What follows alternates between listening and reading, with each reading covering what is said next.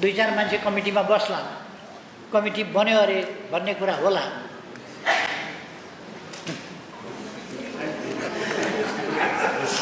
यहाँ।